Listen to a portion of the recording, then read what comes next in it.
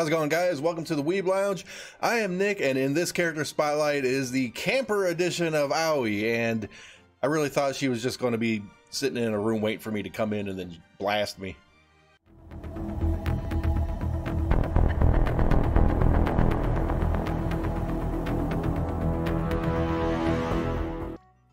Yeah, I, I like my first-person shooters, so you know, when I hear camper, it's like the bane of my existence. So you know, there's that.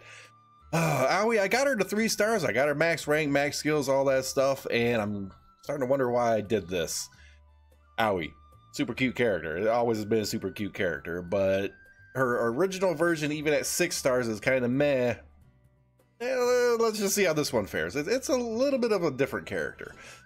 Kinda. Not really. Whatever. Skill one, the bush shot. Your minds can go wherever it is they, they want to go. It is a multi-hit physical attack. Now, by this, I mean she does basically two attacks, but the first one hits all enemies on the field, and the second one hits just a little extra on the front line. The front line attack is does a little bit more damage than the whole AoE. So it's a front line and AoE attack. Two. Yeah, it's kind of odd, but it seems like it does a decent amount of damage when like everything's all combined. It's just different. Skill 2, Precious Coffee. Kohi. Gives herself an all damage barrier and booster technique uh, point generation. And I say all damage because th this game likes to separate like magic damage barriers, physical damage barriers. This is an all damage barrier. Doesn't matter if it's physical or magic, it'll defend herself from everything, all the things. And it's a pretty good barrier too. It's, it's like, I think better than Karen's maybe when she does her Union Burst or whatever. It's it's a pretty healthy amount. EX skill increases her physical attack power, five star, no clue. None. Okay, it's a physical attack character. Its chances are it's going to be greatly increased physical attack power, but who knows? She puts the barrier on. There's a slight, slight little chance they might put like physical attack, uh, physical defense or magic defense or something. That would be stupid. It'd be really dumb. It'd probably physical attack power, whatever. I'm not using my amulets or whatever to get her five star. We ain't doing this.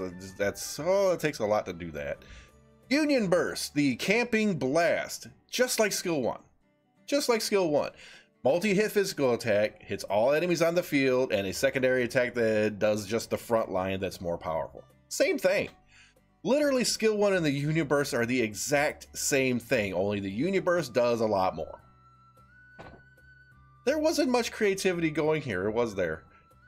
No, they just kind of threw this one out. It's like, oh, we'll just copy skill one and raise the numbers. Poor Aoi, she's always mistreated, isn't she? Oh boy, let's you know, no unique equipment on any of that other stuff or whatever. Let's go ahead and throw her into combat. And I had one lined up, 14-3 here. June is going to get a six star someday. Probably like eight months from now. I don't know. Don't quote me on that. Go ahead and throw her in here. Now, a lot of the Aoi characters that come out always have some kind of use, right? Uh, the original one is Garbo, you know, the original one star that we got when we started the game. Even at six stars, she's just garbage. Okay, I'm sorry, she's just garbage, and I, I do like this. It's kind of entertaining. It's one of the better Bursts, honestly. I like it, but unfortunately, the character herself is just not great. Uh, not at all. Like she does a lot of damage, and that's like it. And just she sits there, has a little coffee, puts up a barrier, and goes. Okay, I love the universe. I absolutely love this universe. It's, pro it's probably one of my more favorite ones. It, it really is. But this is a character that I think might actually have some kind of hidden use. I really do. Like, uh, one of the websites I go to, you know, out of, you know, a score out of 10, she's like 7.4. And 7.4 is, is like a B rating, okay? It's like just garbo, right? She shot the hell out of that raptor, that's for damn sure. Like, share, subscribe, hit that notification button, guys. Here's the deal with her. She does an awful lot of hits and over a lot of different targets, okay? But the thing is, like, the way people are trying to gauge her seems to be is like okay she does you know a lot of damage but it's kind of really spread out. It's not you know that great. So if you have her on, on a boss fight she's going to have to do like some other crazy thing or whatever. And i'm sitting here scratching my head. It's like okay um she's got this b rating. It doesn't seem like they're factoring in the five star mechanic you know whatever you know it's going to end up being. She's got the barrier she deploys. And and I'm just I'm just kind of sitting here. It's like, well, look at all the damage that she's doing right off the bat. What if we threw her in the arena and had her charge up like really quick and do all that damage right off the bat? Might be okay. Multi-target boss fights or just multi-targets in general. So it seems like she can do a lot of damage if she's put in a proper group where she gets a ridiculous amount of buffs. That could be an extraordinary amount of damage if you think about it, because that's a lot of different hits. So if she starts getting like crits like mad with multi hits and all these other buffs going on, couldn't she potentially do like a ridiculous amount of damage? And plus, I've seen a, on our, put on our Discord where she was at five stars max. She was tanking EX5 by herself. Something is not quite right with this character in terms of what people are saying that she's worth eh, as to what she might actually be worth uh, you know, she's she's getting crapped on, right? More or less, but it's one of those characters where I'm thinking it's probably a good idea to invest in her. You know, she's free, you can grind the shards or whatever. Maybe, you know, get her to four stars, maybe even push five if you have the stamina and everything to do.